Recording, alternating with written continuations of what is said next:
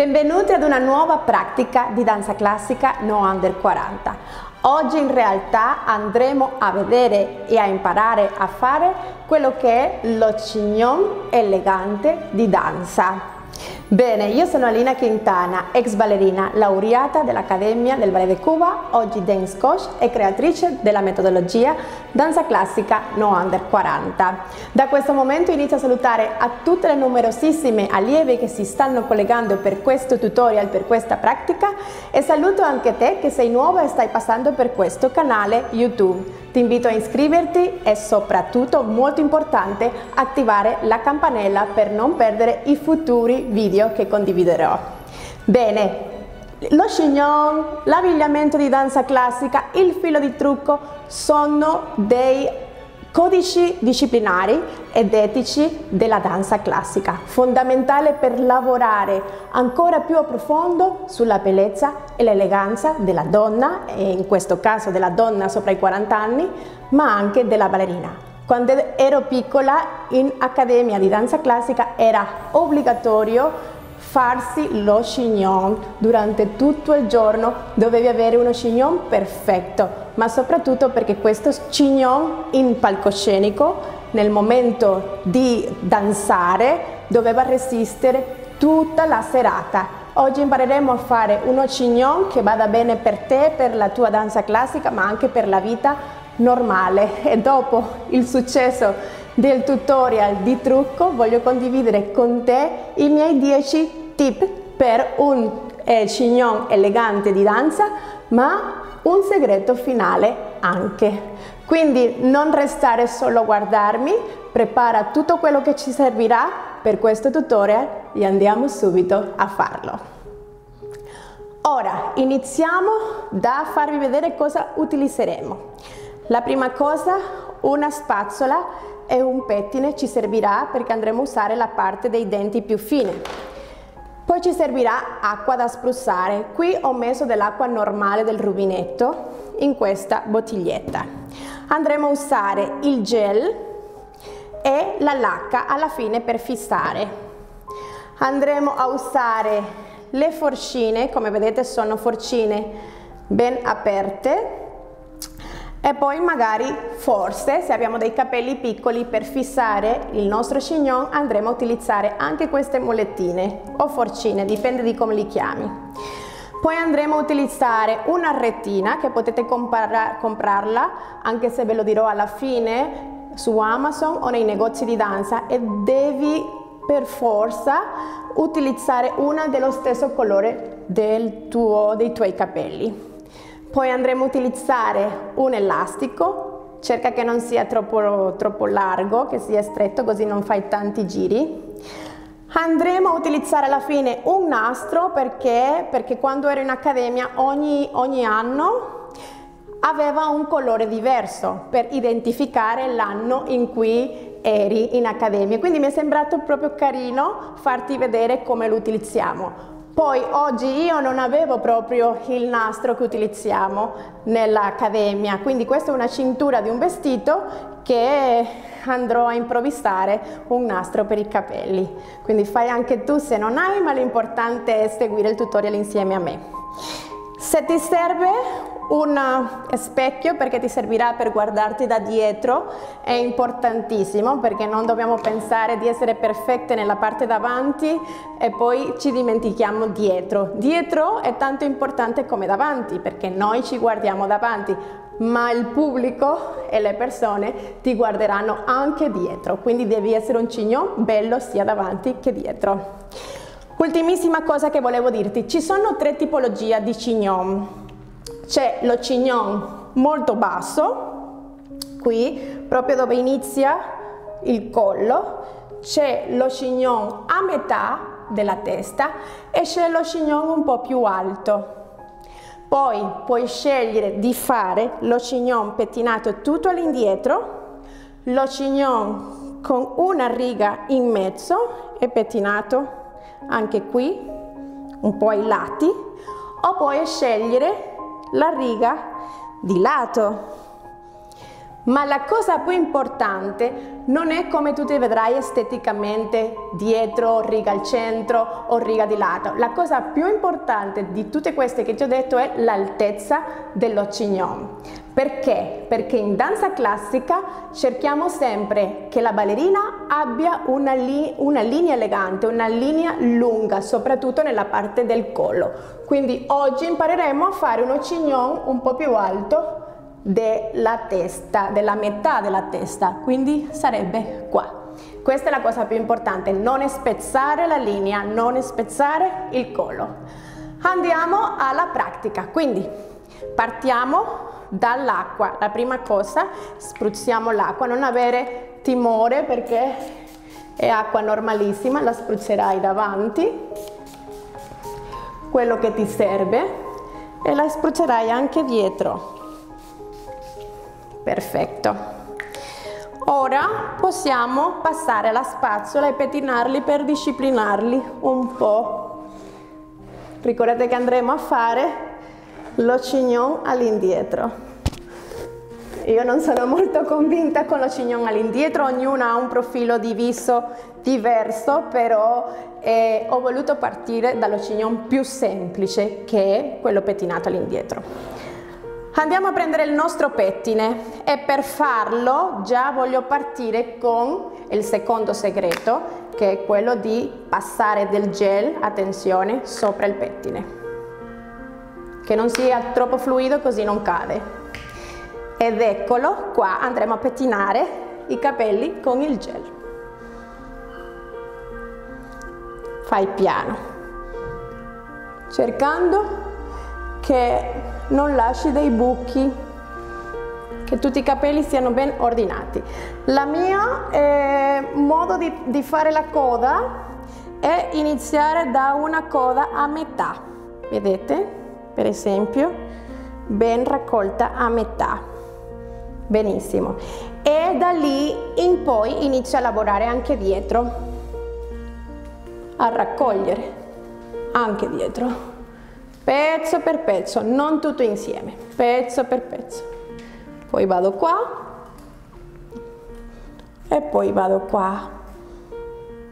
Quello che rimane lo farò con le proprie mani per aiutarmi. Con il gel già abbiamo dato un po' di precisione alla coda. Fammi sapere se lo facevi anche tu così ok.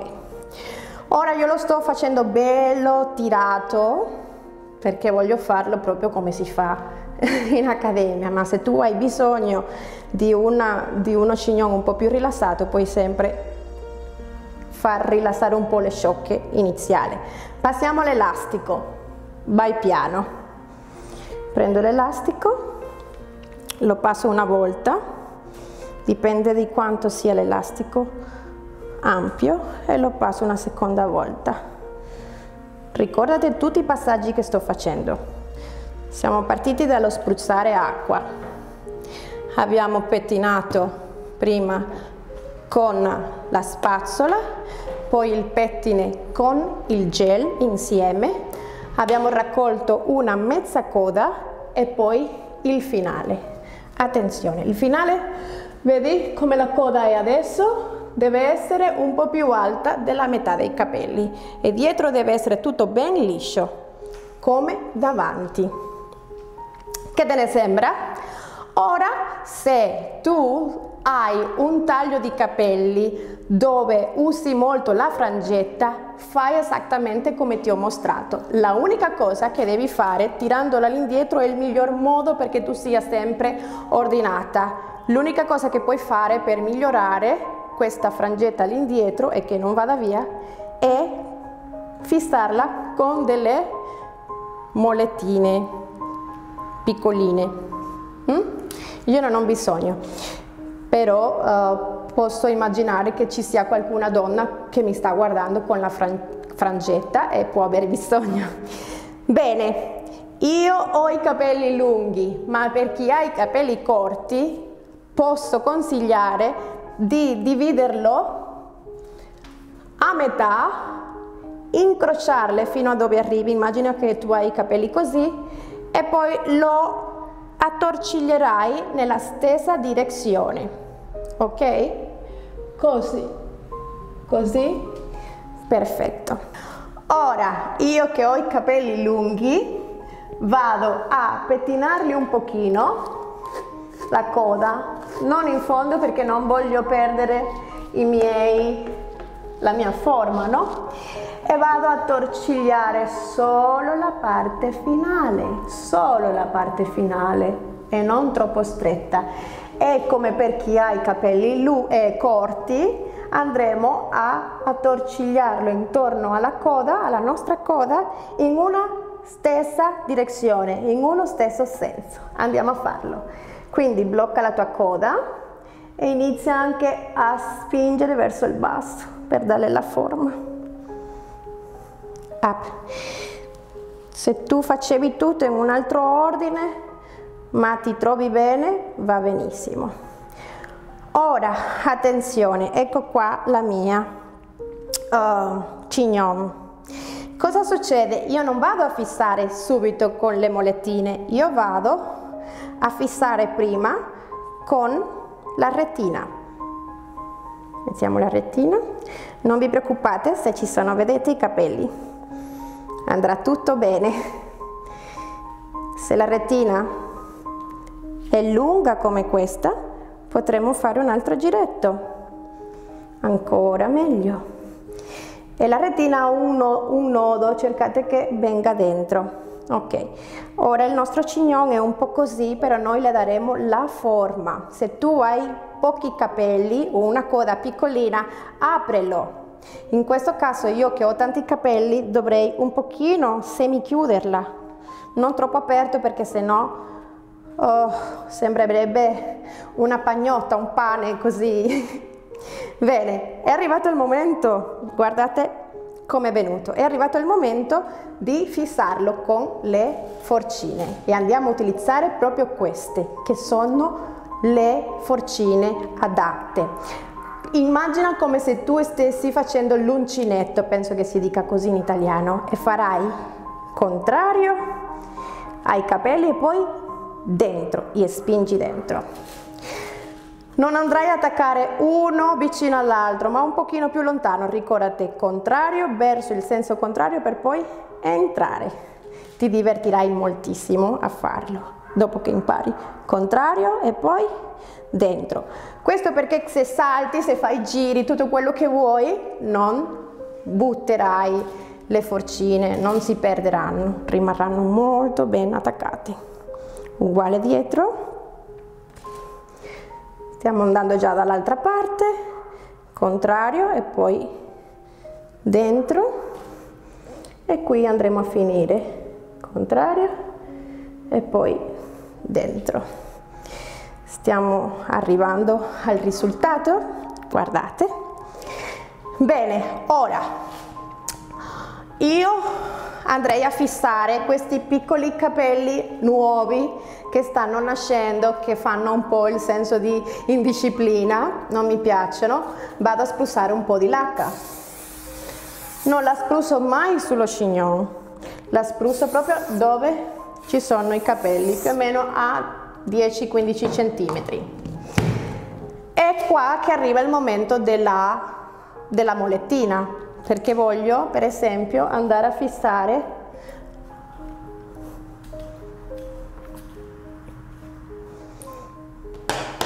se ci sono delle imperfezioni.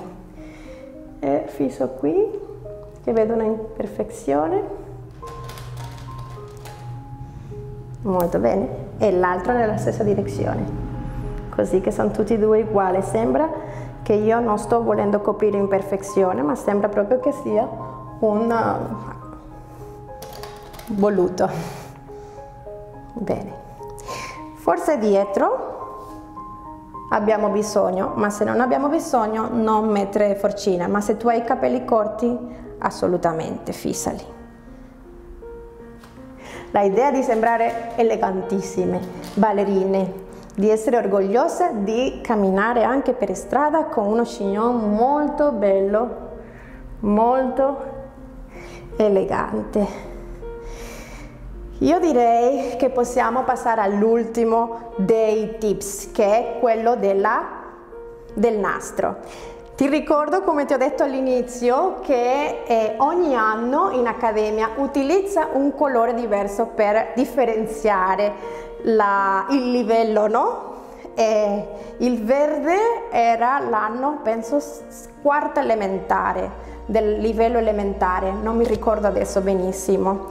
E quindi siccome è troppo lungo e dovrebbe essere in realtà la metà, quindi questo, io andrò a doppiarlo così, a piegarlo e lo attorciglio senza stringerlo. Lo attorciglio, lo passo dietro così. Vedete questa parte non voglio che si veda, quindi faccio il nodo Posso decidere di tenerlo al centro e che cadano le due punte o posso deciderlo di tenerlo un pochino più di lato. E questa particina la metto, ok, nascosta, vado a nasconderla e poi la fisserò con una forcina, sempre di queste che mi piacciono tantissimo. Andrò a fissarla da dentro che non si veda. Ora io l'ho messa di lato perché così potete vederlo meglio perché se lo lascio dietro è nascosto e non vedete proprio il, il tocco. Ebbene, questo è lo cignon elegante di ballerina con i miei 10 tips, con i miei 10 passaggi. Però c'è un segreto che ho voluto lasciare per la fine, per completare questo cignon elegante ed è gli orecchini. Questo è molto molto importante, sembra, eh, sembra non così importante adesso che lo dico, però sì, perché? Perché donne non ballerine a volte vengono con orecchini molto grandi, pesanti, con pendenti, troppo colorati e e nella danza classica non possiamo avere degli elementi sul corpo che uh, tolgano no? la tensione dal movimento della ballerina, la tensione dal collo che ha così tanta importanza nella ballerina. Questa parte qua del collo deve essere libera dei movimenti. Ecco perché chiediamo anche lo cignon che sia bello alto in modo che la ballerina abbia proprio la focalizzazione sulla parte alta, che è la parte che interpreta di più. Quindi non orecchini pesanti, orecchini colorati, orecchini troppo eh, strava stravaganti, no? Uh, cercate degli orecchini a forma di perle tonde o dei brillantini. In questo caso questi sono come dei brillantini. E questo è il tocco finale per completare lo chignon elegante di ballerina. Quindi l'idea è che gli orecchini siano proprio all'interno del, dell'orecchio, all'interno, non esterno, non devono pendere. Ecco qua. E questo è lo chignon, il mio chignon elegante di ballerina che oggi ho voluto condividerti. Cara No Under 40, spero che ti sia stato utile questo video tutorial con tutti i miei segreti. Mettilo in pratica perché solo la pratica ci fa diventare eh, perfette e quindi lasciami anche un commento se lo facevi così, se lo facevi in un altro modo, se hai bisogno di sapere che cosa ho utilizzato, che marche utilizzo, quali sono gli strumenti che ti servono. Tutto questo te lo posso anche eh, dare come indicazione sia sotto questo video che se vorrai iscrivermi. Ricordate che però siamo un'accademia di danza classica tutta online per donne sopra i 40 anni. Abbiamo due corsi, uno che è un corso di 10 lezioni che è sempre tuo, sempre per sempre da fare a casa, l'altro è un'accademia online che non finisce mai. Sai che vuol dire mai? Vuol dire che sarà sempre tuo, ma che ogni mese riceverai dei contenuti di danza classica per te, su misura per te, sempre nuovi, sempre aggiornati. Molti saranno proposti da me, molti potrai proporli anche tu per far sì che il tuo percorso sia ancora più su misura, più bello. Quindi se vorrai entrare in questa nuova fase di trasformazione, di emozione e di vivere finalmente il tuo sogno della danza classica dopo i 40 anni e con la mia guida, beh, io ti aspetto dall'altra parte. Un bacio dalla tua dance coach Alina Quintana.